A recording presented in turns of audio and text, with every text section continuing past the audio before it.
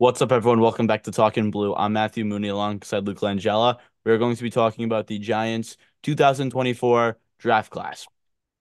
Once again, Joe Schoen did a very good job in the draft this year. This is his third time uh, drafting as the Giants GM. And I thought he did a very good job. I will say, though, I thought out of all three, this was the worst draft class he's had. Not saying by any means it was bad at all. I thought it was a very good draft class. I just thought the other two were a little bit better but I'm very happy with what we got with what yeah. we got out of the draft class. What do you think about what happened, Luke? Well, you know, I think there were some rounds that were really well executed. The first round, a very well executed round, taking neighbors. He made the right move, the safe move, and overall a great move. And you know, those are the type of things you have to do. You know, you you can't listen to the noise, the quarterback noise. They went in, they got the best receiver in the draft, in my opinion. PFF agrees the highest overall player in the first round too as well. So I, I love that pick. I think your second round pick was solid. Third round was eh. Fourth round was a solid pick. Fifth round was eh. Sixth round was eh. So I think there was a little more inconsistent. You know, I liked in past years. We've got guys like Wan'Dale Robinson, Jalin Hyatt, some really good playmakers in the second and third rounds. I felt we lacked a little bit there in in these later rounds as we have in the past few years. Overall, though, really solid draft. I think I saw mostly B plus to A minus grades, and I don't know about you, Matt. I feel like that's a, a good boat for uh, where the Giants should be graded on that. Yeah, I, I agree with you. I think around that range is good. Like when I'm grading stuff with like sports related, unless there's a percentage, I don't normally do a plus minus because if I don't have a percentage, then it's kind of hard for me to give like let's say I think someone did let's say like for example, like obviously like if you get um so I think the Giants said like either I I'd give them an I think it's more of an A range grade. Gonna sound a bit biased, so I'll just say an A there. Um, thought they did the draft did very well in the draft. Um, obviously, like you said, Malik Neighbors was the first round pick. I thought that was the best pick. Obviously, kind of a common sense, like that's kind of a no brainer. But obviously, it was the safe pick and the right thing to do. Like you just said, I there was like obviously like I was um, I was at MetLife, and um, as you guys may or may not know, but I was at MetLife for the first round of the draft, and I remember I was so nervous when the Giants were on the clock. My palms were sweating and like I was sweating. My heart was like literally pounding when Roger Goodell was about to announce the Giants draft pick. I swear, if we picked McCarthy, I think the whole fan base would have rioted, would have started a riot. But you know, um, I was like so the it exploded when Malik Neighbors was picked, and like everyone I talked to pretty much wanted Malik Neighbors for the Giants or Rome Odunze. Yeah. But we got Neighbors, and that's who I've wanted for the last five months. And yes, worked out. Yeah, Matt, if you've been you know following along with their show, Matt and I have talked about Neighbors. I mean, it was always Neighbors for us. We've mm-hmm. talked about it for months now. Uh, you know, even way too early mock drafts, we had Neighbors on our board right away. We said that's going to be the pick. That's the best player for the Giants in the draft. And DeBaley saw one of the best players in the draft. He's one of the most athletic. You watch his his film; it's freakish. I think now you look at Wan'Dale had a great a great year, great bounce back off the torn ACL. Hyatt, you know, quiet year, but he he we, he showed I could be a threat down the field. I'm a vertical threat. Now you add neighbors in the equation. You have Slayton, Mr. Consistent, obviously going through contract negotiations. But overall, Matt, I look at it and I say I like this receiver core. You know, I think they're given now. I think it, it's going to fall on DJ. They gave D, DJ they gave DJ some weapons here, and and that leads to the next guy, Theo Jackson, uh, Theo Johnson. Uh, Penn State tight end, seven receiving touchdowns last year. He has a knack for scoring in the red zone, something that we really struggle with. Matt, give us your opinion on the Penn State tight ends. Yeah, I'm very excited. I think Theo Johnson, I'm freak athlete. I don't know a whole lot about him, but I watched this film the other day. I like what I saw, especially if we don't have Darren Waller next year. We'll have our tight end one. I think he's the tight end of the future. Yeah. This was a great pickup. I'm very happy with what we did there. There was a, a lot of talk about us possibly getting Cade Stover, the Ohio State tight end. We got Theo Johnson, who is I'm I'm very happy with the pick. And he's graded one of the highest athletic players in the draft coming mm-hmm. out of a tight end position. That's that's very hard to do. Yeah, you're right. Um we got our tight end of the future, which I just said, especially like let's talk about Darren Waller a little bit. So obviously there's a lot of buzz about him possibly retiring and um, I don't know like what to believe if he, he's gonna retire or not. Obviously, we just heard that he got divorced with his wife. He apparently cheated on her, which um, not happy. I'm very unhappy to hear that. Um, and yeah, I, I just don't have a lot of respect for a lot of people for people who do that. And like, you know, so if I'm Darren Waller this year, like what I would do is I'd play this year, see what happens. If it goes well, play another season or two. If it doesn't go well, like let's say he gets injured again, which is like there's a chance good, good chance that happens, and um, or if it just if he just doesn't play well, then I just retire. What do you think about that, Luke? Yeah, I, I think it's interesting if he's going to come back or not. You know, he obviously got divorced recently. See what his that changes his mind. And you know, I, I like what we got though at tight end. I like Theo Jackson, um, Theo Johnson. I've been saying uh, Bellinger's a, a future tight end. I really like two big guys, and I said Lawrence Cager. I mean, I've been saying this on the show now for two years. We've been doing this. I've said he's one of the most athletic players the Giants have. They should get him the ball more. Last year he got the ball. He showed. Um, just interesting thing. He's barely played. When he's been on the field, he's got touchdowns. Anytime he gets active, he seems to find his way into the end zone. On very similar, these speed outs. He's an athletic guy. He's a mismatch for defensive backs, and I, I really like him back there. And I, I think overall this tight end core is nice. And you know, if Waller in there, I think that tight end core gets even better. But if he's going to be hurt, doesn't even know if he's going to play, maybe I just ride with what we got. And that leads to the defensive side of the ball, Matt. Um, our defensive, let's be honest, our defense was looking pretty good. We have some holes. Uh, let's not lie about that. But in we have the best pass rush in the league. We have a great young safety, a great young corner, two star middle linebackers.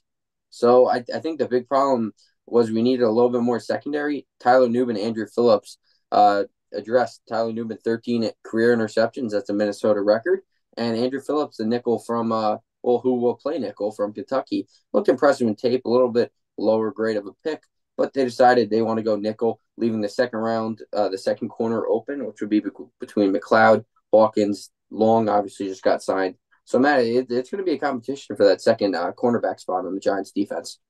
Yeah, you're absolutely right. I think it's definitely, you know, it was we kind of viewed it as like a hole for a while. Like that's definitely going into last off season. The Giants needed to address that hole. Like obviously we had Adoree Jackson. We needed another good corner next to him. And now Adoree Jackson's likely going to be gone. Now we have Deonte Banks, who's our number one corner, and we're gonna and we need to figure out who our second corner is. I think Andru Phillips is a good shot at it, uh, at getting that role. I heard um, Andru Phillips probably looking more at nickel. He'll probably be cornerback three, playing in the slot, a little yeah. bit smaller body. Yeah, maybe um Nick McCloud. I, I live. I, I just another thing to cut in there. Uh, we posted this on our Talkin Blue Twitter. Go check it out. Uh, got over two thousand views, ton of likes. We posted something on Nick McCloud. Four turnovers forced last year. He was graded very high on PFF for limited snap counts. He was an excellent when he was on the field last year. I'd really like to see him get more reps, Matt. Yeah, I I agree. I, I really like what I saw from him. I think he's a potential. I don't think necessarily a defensive player of the year, like a top 10 corner as top 10 corner potential in the NFL, but I think he's definitely a very a good young piece that's underrated. And I think given the right chance, he could be good with us. I think he could I could see him getting the second corner job. And speaking of defensive backs, let's talk about Tyler Nubin, our brand new safety, I guess our Xavier McKinney replacement. Um, yeah, uh, safety out of Minnesota. I we like the pick. You guys, may, if you guys follow our TikTok page, you may or may not have seen our reaction, my reaction to the pickup. But I'm very happy with the pick. At first, I was kind of I was kind of shocked that we took him, and I was expecting us to go corner with that pick, but I thought it was a good pickup. I think yeah. um best safety in the draft class, and yeah, yeah, it was a nice pickup. I mean, the 13 turnovers, 13 interceptions, something to look at. I mean, who doesn't want a corner that could, uh, safety that could pick off that many passes? You think Jason Pinnock did everything for us. He was in the backfield making sacks, tackle for loss. In the back end, he was breaking up passes, interceptions, forced fumbles. He was a very good player for us last year. Now you added a guy like Tyler Nubin to replace Xavier McKinney. It's tough. Xavier McKinney was an elite safety. We can't deny that. But Tyler Nubin, 13 interceptions is a lot of interceptions. That's very impressive for a safety, and I'm really excited to see this kid play. Um, you look that that with Dane Belton too. I mean, I like that safety core. I like those three guys rotating in and out. Um, and then we then we also look at this running back, Matt. I mean, that's a major issue that we had to address. I mean, it was it was tough going fifth round waiting. There was a lot of running backs that went off the board. We took Tyrone Tracy, Purdue running back, 800 scrimmage yards last year. Not a bad pickup. Guy's only been playing running back for two years. So, I mean, it's a little I don't know, Matt. Uh, NFL comparison: Dalvin Cook doesn't have a great balance. He has that explosiveness that a receiver does, and he's tough to tackle. I mean, he is high graded against missed tackle. The, the only issue is his balance. He doesn't really have that running back balance. Matt, give us your opinion on Tyrone Tracy in that running back room. Yeah, I, I, I like the pickup. I mean, I kind of wish we went with like a more uh, like a well-known running back. Like I was hoping for like a Blake Corum or a, Braelon Allen, one of those guys. But I think Tyrone Tracy's a good running back pickup. I think he could possibly. I don't know if he's necessarily going to win like the number one running back job for the Giants. I think definitely at least like a number two running back, possibly. There's a chance he wins it, but I think Matt Breida is likely going to get the number one job. I I no, um, it's gonna be Singletary next year. Oh, that's right, Singletary. I forgot about him. Yeah, Singletary will be the. Seems like Singletary, Tracy, and then Eric Gray will definitely be in the mix. And then you also have the South Carolina running back that they picked up, the one that hasn't played yet. They have him, blazing speed, and also Tyrone Tracy return kicks with these new kickoff rules we're seeing. I mean, if you have a good kick returner, you could potentially easily be getting to the 40 and 50 every time. And for an offense like the Giants, which has not been good. That's that's really good for us. If we could nail some special teams and get good yardage, that could really help us. And you think about it, without a running game, we need to pick this pick up the slack. The running game won't be like it was with Saquon. So you think about it, you're able to get these great returns and and really get good yardage just off kick returns. And Matt, that brings up to someone named Saquon Barkley. Mm-hmm. Uh, I don't know about you, Matt, but I I mean we've developed a new hatred towards him. I, I can't stand him. He was at the Sixers Knicks game last night. I was so happy the Knicks got that win in front of him. I just I despise him. Yeah, it's unfortunate though. He went from being our star player to going to our biggest rival. It sucks that it had to happen this way. Like I've experienced this before, being an Islanders fan, seeing John Tavares leave the Islanders, just lying, saying that like he was gonna stay, and then he goes to Toronto. I'll never forget his return to the Coliseum. One of the most thrilling games I've watched as an Islanders fan. But yeah, it's gonna be like that 2.0. I mean, Barkley's now going to Philadelphia. I mean, I'm not a Knicks fan, like I'm a Nets fan, but I don't follow much basketball to be honest with you. But it's gonna be crazy. The second he steps foot on the field, like for the first snap, offensive Eagle snap at that game, whenever it is, I don't know when. Schedule comes out soon, so we'll have an episode come talk coming out where we're gonna talk about the schedule. But you're just gonna hear so much booing at MetLife. I don't think oh, there will. Matt, we'll be booing him too. I mean, oh yeah, eighty thousand people, over eighty thousand plus, eighty two five hundred. We're gonna be standing up booing him, and he deserves it. I mean, he says all those things. Oh, the Giants didn't offer me. Going to Philadelphia is unacceptable. That's your rival. Yeah. I mean, you can't do that. You know, you say all these things.